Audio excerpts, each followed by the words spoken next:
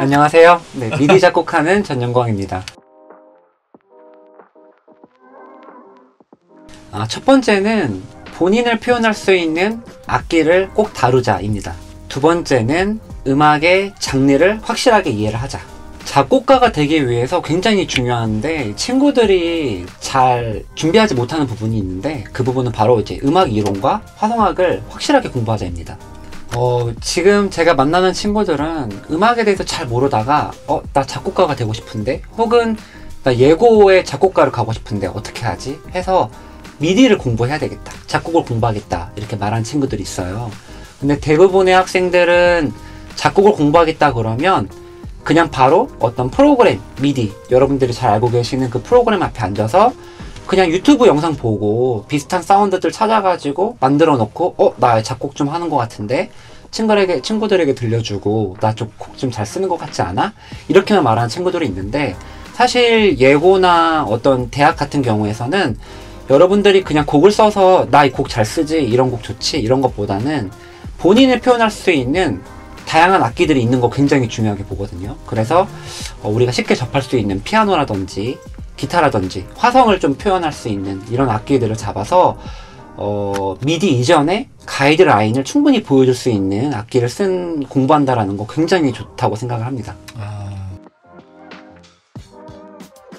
어, 이렇게 말하면 여러분들이 좀 겁먹으실 수도 있는데, 사실 제가 예고에서 봤던 친구들은 피아노, 재즈 피아노과나 작곡을 전공하는데 피아노를 친구들의 이 피아노 실력이 거의 대등하다고 보여지기도 하고요. 더 나아가서는 작곡가 친구들이 피아노과 친구들보다 표현력이나 이런 부분이 훨씬 더 좋은 경우가 많이 있어요. 피아니스트에 준하게 준비를 해야만 된다 이런 뜻일까요? 그렇게 준비하면 너무나 좋겠죠. 네, 너무나 좋지만 여러분들이 그러면 난 이미 늦었으니까 하고 포기할 수도 있잖아요. 어, 그 정도이면 너무 좋겠지만 본인이 표현하고자, 그러니까 내가 나를 표현할 수 있는 이미 준비되어진 음악이 아니라 이 앞에서 나는 이런 음악을 만들 수 있어요. 그리고 나의 어떤 개성, 그리고 내가 갖고 있는 어떤 여러분들의 가치관, 세계관들이 확실하게 보여줄 수 있는 음악을 내 음악이니까 내가 정말 확실하게 표현만 할 수 있으면 그것도 메리트가 된다 생각을 합니다. 근데 이제 물론 이제 잘 표현하기 위해서는 당연히 테크니컬한 부분이 들어가니까 이제 피아노 치는 친구들하고 거의 대등하게 친다고 얘기를 한 거겠죠. 아, 그렇군요. 미디로 곡을 쓴다라는 건요. 여러분들은 이제 미디 하는 친구들은 아시겠지만 하나의 악기만을 어떻게 작업을 해서 그 곡의 전체를 표현하는 게 아니라 그 우리가 알고 있는 예를 들면 발라드라 그러면 발라드에 나오는 모든 악기에 대한 이해도 그리고 그 악기의 움직임을 확실하게 이해해서 제 곡에 그대로 적용을 해야 그 분위기를 표현할 수 있는 거기 때문에 장르에 대한 이해도가 확실하지 않다 그러면 저는 발라드예요 라고 써놨지만 그 곡이 듣는 입장에서는 이 발라드 같지 않은데? 라고 얘기할 수가 있어요. 그래서 본인이 하고 싶은 장르뿐만이 아니라 여러 다양한 장르에 대한 지속적인 공부들이 좀 필요하고요. 또 요즘 유행하는 여러 새로운 장르들이 많이 나오잖아요. 그런 장르들을 듣고 아 그냥 이런 리듬 패턴의 이런 곡이구나 라고 하는 게 아니라 어떠한 사운드들이 모여서 그 곡이 표현됐는지 그리고 어떠한 형식이 요즘 대세적 흐름인지를 이해를 해서 그 곡에 대한 이해도를 완벽하게 높이고 미디로 표현해야 비로소 미디 작곡가라고 말할 수 있는 거죠. 네, 제가 이제 입시장에 있을 때 이제 피아노 치는 친구들이 치는 피아노 그리고 작곡가들 친구들이 치는 피아노를 딱 봤을 때 과연 이 작곡가 친구들은 피아노를 전공하는 친구들보다 피아노를 쳤을 때 어떤 메리트가 있어야 될까? 를 이제 매번 저도 작곡을 가르치는 입장에서 고민을 하게 되는데 화성학과 어떤 음악적 기초 이론을 확실하게 공부한 친구들은요 이미 본인이 표현하는 곡의 화성의 분위기가 너무나 어, 독창적이고요. 또 개성이 확실하게 보여지고 그리고 세련된 느낌을 많이 표현을 하게 되는 것 같아요. 보통 일반적인 피아노과 친구들은 어떤 곡을 유명한 이제 아티스트들의 곡을 카피해서 친다거나 하지만 작곡가 치는 친구들은 무조건 어떤 변형 그리고 본인의 색깔이 확실히 들어갔을 때 비로소 메리트를 느끼거든요. 내가 원하는 색감을 완전히 이해하려면 결국에 표현할 수 있는 방법은 테크니컬한 부분과 지금 제가 말씀드리고 싶었던 화성적인 부분이기 때문에 화성학을 공부하지 않고 내 곡을 표현하겠다 했을 때는 표현의 방법에서 분명히 부딪히게 돼요. 그래서 화성학을 꼭 공부를 해야 되고요, 여러분들. 그리고 내가 쓴 곡을 어 어떠한 악보로 만들 기회도 여러분들이 마- 생기게 되는데 그때 내가 음악 이론을 전혀 하지 못해서 내 곡을 악보로 기입할 수도 없다. 이것도 굉장히 큰 문제가 되겠죠. 작곡가로서는요. 그래서 꼭 이 부분을 공부해야 된다고 저는 생각을 합니다. 아, 예고에 들어갈 때 그리고 미디 작곡을 공부한다 하더라도 여러분들 첫 번째로 하셔야 되는 거는 무조건 화성악기를 다루자예요. 꼭 피아노뿐만이 아니더라도 기타도 가능하겠죠. 이 화성악기를 다룬다는 것 자체가 음악에 대한 이해도를 굉장히 많이 높일 수 있어요. 그래서 화성악기를 꼭 다루기. 저는 이제 여러분들이 제일 쉽게 접할 수 있는 피아노죠. 네, 피아노를 먼저 배우는 겁니다. 그리고 그냥 단순히 코드 반주뿐만이 아니라 조금 더 욕심을 가져서 어, 드라마틱한 연주곡도 한번 도전해 보시고요. 그런 식으로 계속 어떤 표현, 내가 좋아하는 어, 지나가다 들리는 음악들, 사실 이 피아노를 치면 어떤 느낌일까? 이렇게 매번 공, 고민해 보시면서 피아노를 공부하는 거.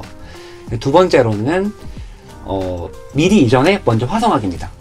왜냐면 여러분들이 악보를 보고 피아노를 치는 경우가 굉장히 많아지는데요. 이 악보를 이해하기 위해서는 음악 이론 화성학을 꼭 공부해야 돼요. 그래서 화성학 공부 시간, 음악 이론 시간을 나눠서 공부해도 좋고요.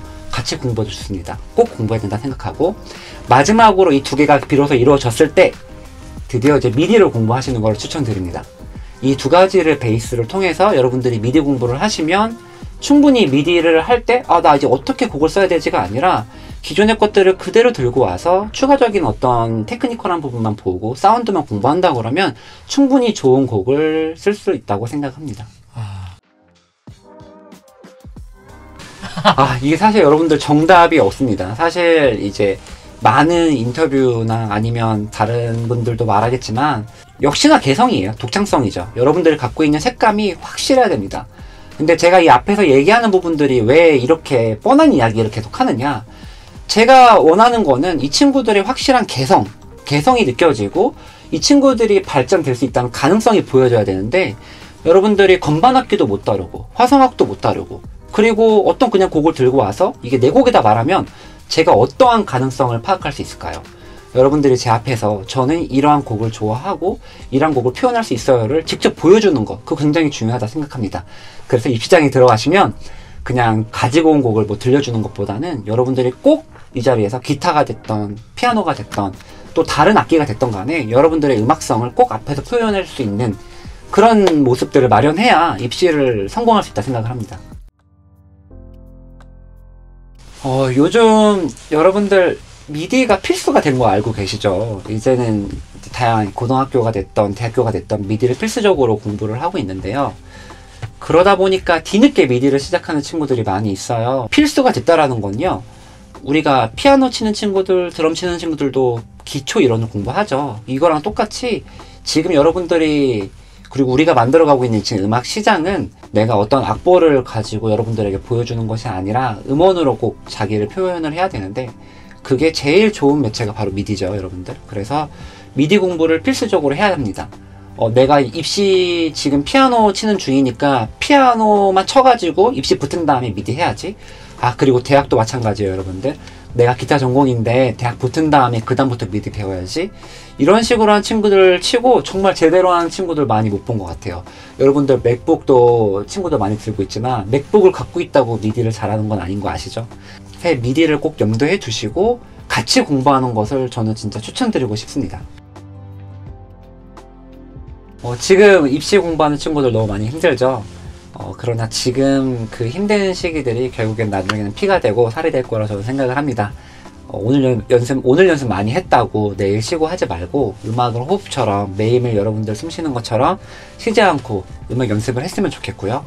올해부터 제가 서공에 나가게 됐는데요. 서공에도 많은 관심 가져주시고 어, 서공에서 공부하는 친구들도 이번 연도에 저랑 같이 열심히 공부해봤으면 좋겠습니다. 어, D&D TV도 여러분들 많이 사랑해 주시고요. 입시생 음악한 여러분들, 제 후배들 다 힘내세요. 감사합니다.